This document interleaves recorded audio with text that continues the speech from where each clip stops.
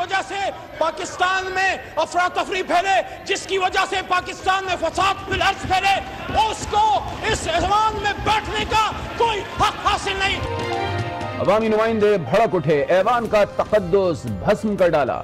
अली मोहम्मद का मोहसिन दावड़ और अली वज़ीर की रुकनीत मनसूख करने का मुतालबा। अपोजिशन का एहतजाज, बिलावल बगैर माइक के गरजते रहे, कराची को पानी दो एम क्यू एम ने प्ले कार्ड्स दिखा दिए। बिलावल ने मोहसिन और अली वज़ीर के प्रोडक्शन ऑर्डर का मुतालबा दोहरा दिया। हुकूमत सेलेक्टेड अपोजिशन और सेलेक्टेड जजेस चाहती है। पार्लियामेंट हाउस के बाहर गुफ्तगू। शाहिद खाकान ने कहा, हुकूमत अदलिया की टारगेट किलिंग कर रही है। जजेस के खिलाफ रेफरेंस वापस लेने का मुतालबा कर दिया। जजेस के खिलाफ रेफरेंसेस पर सेनेट में अपोजिशन की करारदाद कसरत राय से मंजूर। हुकूमती अरकान का एहतजाज। चेयरमैन ने एहतजाज मुस्तरद कर दिया। शिबली फराज ने कहा, इदारे तबाह करने वाले आज ठेकेदार बन रहे हैं। ऑपोजिशन अपने करप्ट लीडर्स को बचाना चाहती है। हुकूमत गिरी तो सबसे ज़्यादा नुकसान पीपल्स पार्टी का होगा, काफ लीग के कामिल अली आगा का बयान।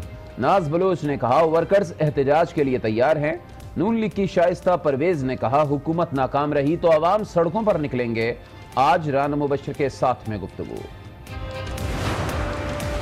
मुखालफी ईद के बाद तहरीक का शौक पूरा कर लें। गवर्नर सिंध का चैलेंज, कराची में रवा साल, ग्रीन लाइन सर्विस शुरू करने का ऐलान कर दिया। सिंध के मनसूबों से मुतल वज़ीर अला की मालूम नाकिस करार दे दी।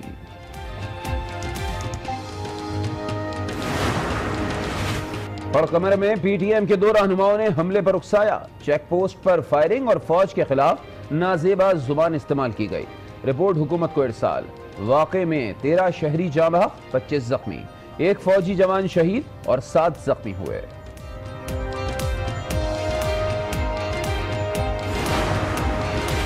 वज़ीर आज़म का दौरा सऊदी अरब। मिस्र के सदर अब्दुल फतह सैसी से मुलाकात। दो तरफा ताउन, इलाकाई और आलमी उमूर पर तबादला ख्याल। सदर अशरफ गनी के साथ भी बैठक। अफगान अमन में किरदार अदा करते रहेंगे वज़ीर आज़म की यकीन दहानी।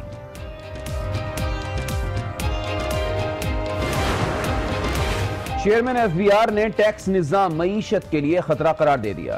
जी डी बी के दस फ़ीसद से भी कम टैक्स इकट्ठा हो रहा है। वज़ीर आज़म को खत लिख डाला। कारकर्दगी दिखाने के बजाय सिस्टम को इल्ज़ाम दे रहे हैं, नफीसा शाह की तनकीद।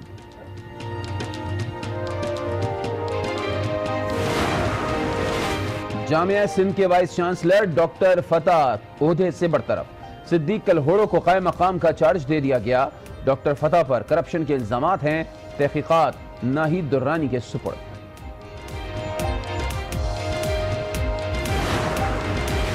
पंजाब के स्कूलों में गर्मियों की छुट्टियाँ आज से शुरू होंगी। तलबा एक दूसरे को तहफ देते रहे। चंद निजी तालीमी इदारे इम्तहान के बाईस बारह जून को बंद होंगे।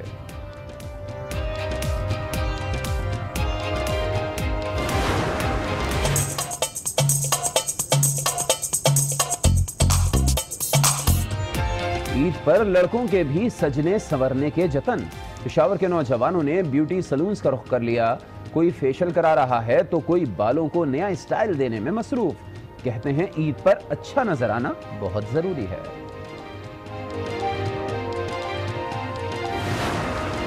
अल्लाह अल्लाह, बंदे हर दम अल्लाह। पीछे पीछे मौत है तेरे। आगे आगे तू। अल्लाह अल्लाह। और आज न्यूज़ की खसूसी रमज़ान ट्रांसमिशन, बारान रहमत अवाम के दिलों में घर कर गई। अवतार ट्रांसमिशन में हलालो हराम कमाई पर गुफ्तु हुकूमत ने आवाम को ईद पर महँगाई का नया तोहफा दे दिया। पेट्रोलियम मसनूआत की कीमतें बढ़ा दी गई हैं। आपको बताएँ कि पेट्रोल की कीमत में चार रुपए छब्बीस पैसे का इजाफा किया गया है। डीजल की कीमत में भी साढ़े चार रुपए इजाफा किया गया है। अब पेट्रोल एक सौ बारह रुपए अड़सठ पैसे फ़ी लीटर के हिसाब से मिलेगा।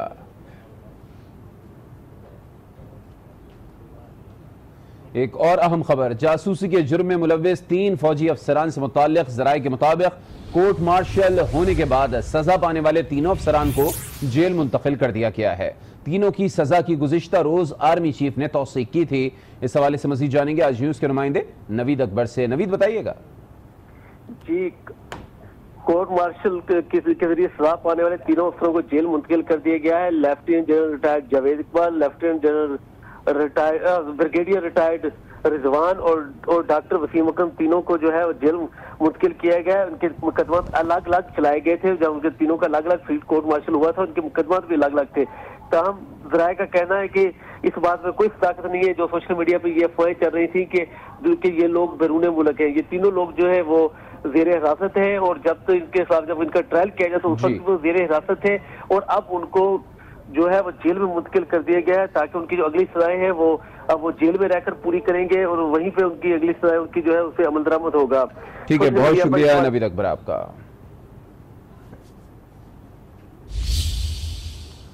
अब आपको बताएँ कि पाकिस्तान की मारूफ डेवलपमेंट कंपनी ज़मीन डेवलपमेंट से नया मंसूबा ले आई है। लाहौर में ओपल रहायशी मंसूबे का संग बुनियाद रख दिया है। सीईओ जीशान अली खान ने इसका अफ्ताह किया। ज़मीन ओपल मेन रायबेंड रोड पर जदीद तरीन रिहायशी मनसूबा है। इसमें एक सौ पिछहत्तर अपार्टमेंट्स तामीर किए जाएँगे। सीईओ जीशान अली खान का कहना था कि डेवलपमेंट्स के शोबे में जज्बे के साथ काम का आगाज़ कर रहे हैं। ज़मीन डॉट कॉम ने तेरह साल रियल इस्टेट मार्केट में काम के बाद दुनिया भर का एतमाद हासिल किया। संग बुनियाद रखने की तकरीब में इदारे के दीगर सीनियर अफराद भी मौजूद थे।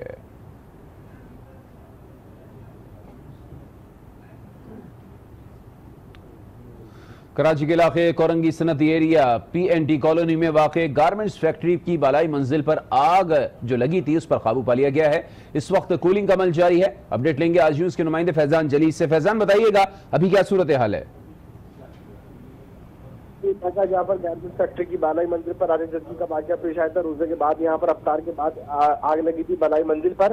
ताम फायर ब्रिगेड का जो अमला है, आग पर काबू पाने की कोशिश में मसरूफ था, लेकिन अब अब जो है वो आग पर काबू पाया जा चुका है और फायर ब्रिगेड का अमला इस वक्त कूलिंग के अमल में मसरूफ दिखाई देता है। ताम फायर ब्रिगेड की पाँच गाड़ियाँ यहाँ पर आग की इतला मिलने के बाद पहुँची थी, जिन्हें वाटर बोर्ड हुक्काम की जानब से पानी की फरामी को यकीनी बनाया गया था, लेकिन पुलिस हुक्काम का ये कहना है कि फैक्ट्री में कोई भी हंगामी खराज का कोई रास्ता नहीं था फैक्ट्री के अंदर कोई भी आग बुझाने का आलात मौजूद नहीं थे, जिसके बाद आज ये जो आग जब लगी है तो यहाँ पर अंदर जो हमला मौजूद था फौरी तौर पर छतों से उन्होंने दूसरी जो बराबर फैक्ट्री बाकी है, उसकी छत पे छलांग लगाकर लगाकर अपनी जानें जो है वो बचाई है। लेकिन पुलिस यहाँ पर पहुँची है, रेस्क्यू दारी की टीमें यहाँ पर मौजूद है, आग पर काबू पाया जा चुका है और इस वक्त कूलिंग का अमल जारी है।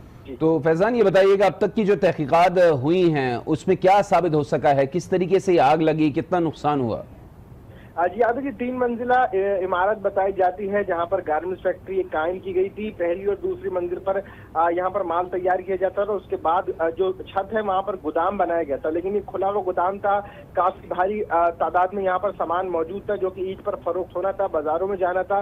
उसमें ही आग लगी है, लेकिन इब्तदाई तौर पर सिर्फ़ ये बताया जाता है कि बिजली के कुछ तार वहाँ से गुजर रहे थे, जिसके बायस ये शॉर्ट सर्किट हुआ, आग लगी और लाखों रुपए मालियत का सामान जो है वो जलकर खाकतर हुआ। लेकिन पुलिस का साथ साथ ये भी कहना है कि फैक्ट्री हुक्काम की जानब से एसओपी को बिल्कुल फॉलो नहीं किया गया था, जिसके बायस ही आतिशदगी का वाक्य पेश है और लाखों रुपए मालियत का सामान इसमें जलकर खाकतर हुआ। इसके अंदर कोई जानी नुकसान भी हो सकता था, लेकिन फौरी तौर पर जब यहाँ पर आग लगी है, क्योंकि रोज़े का वक्त था, उसके बाद, नमाज़ से फरागत के बाद यहाँ पर जो फैक्ट्री का अमला है, वो छत के करीब ही मौजूद था, जिसने फौरी तौर पर छत से दूसरी बराबर वाली छत पर छलांग लाकर अपनी जानें बचाई।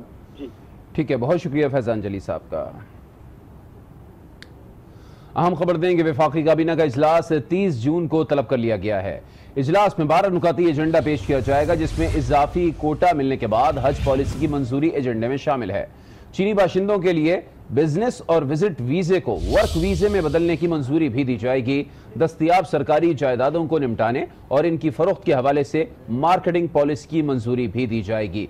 बच्चों के हकूक के तहफ़ के लिए कौमी कमीशन की मंजूरी भी एजेंडे का हिस्सा है। काबीना इजलास में आम इंतबात दो हज़ार अठारह के हवाले से पोस्ट इलेक्शन रिपोर्ट भी जेर बहस आएगी। पाकिस्तान में अफरा तफरी फैले, जिसकी वजह से पाकिस्तान में फसाद फिल फैले, उसको इस ऐवान में बैठने का कोई हक हासिल नहीं। अवामी नुमाइंदे भड़क उठे, ऐवान का तकद्दुस भस्म कर डाला। अली मोहम्मद का मोहसिन दावड़ और अली वज़ीर की रुकनीत मनसूख करने का मुतालबा। अपोजिशन का एहतजाज, बिलावल बगैर माइक के गरजते रहे, कराची को पानी दो एम क्यू एम ने प्ले कार्ड्स दिखा दिए। बिलावल ने मोहसिन और अली वज़ीर के प्रोडक्शन ऑर्डर का मुतालबा दोहरा दिया। हुकूमत सेलेक्टेड अपोजिशन और सेलेक्टेड जजेस चाहती है। पार्लियामेंट हाउस के बाहर गुफ्तगू। शाहिद खाकान ने कहा, हुकूमत अदलिया की टारगेट किलिंग कर रही है। जजेस के खिलाफ रेफरेंस वापस लेने का मुतालबा कर दिया। जजेस के खिलाफ रेफरेंसेस पर सेनेट में अपोजिशन की करारदाद कसरत राय से मंजूर। हुकूमती अरकान का एहतजाज। चेयरमैन ने एहतजाज मुस्तरद कर दिया। शिबली फराज ने कहा, इदारे तबाह करने वाले आज ठेकेदार बन रहे हैं। ऑपोजिशन अपने करप्ट लीडर्स को बचाना चाहती है। हुकूमत गिरी तो सबसे ज़्यादा नुकसान पीपल्स पार्टी का होगा, काफ लीग के कामिल अली आगा का बयान। नाज बलोच ने कहा, वर्कर्स एहतजाज के लिए तैयार हैं। नून लीग की शाइस्ता परवेज ने कहा, हुकूमत नाकाम रही तो आवाम सड़कों पर निकलेंगे। आज राना मुबशर के साथ में गुफ्तगु। मुखालफी ईद के बाद तहरीक का शौक पूरा कर लें। गवर्नर सिंध का चैलेंज, कराची में रवान साल ग्रीन लाइन सर्विस शुरू करने का ऐलान कर दिया। सिंध के मनसूबों से मुतल वज़ीर अला की मालूम नाकस करार दे दी।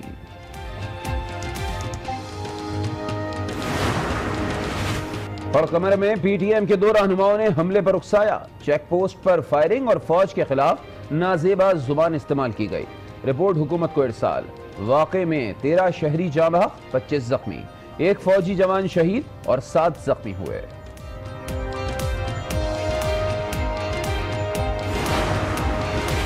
वज़ीर आज़म का दौरा सऊदी अरब। मिस्र के सदर अब्दुल फतह सैसी से मुलाकात। दो तरफा ताउन, इलाकाई और आलमी उमूर पर तबादला ख्याल। सदर अशरफ गनी के साथ भी बैठक। अफगान अमन में किरदार अदा करते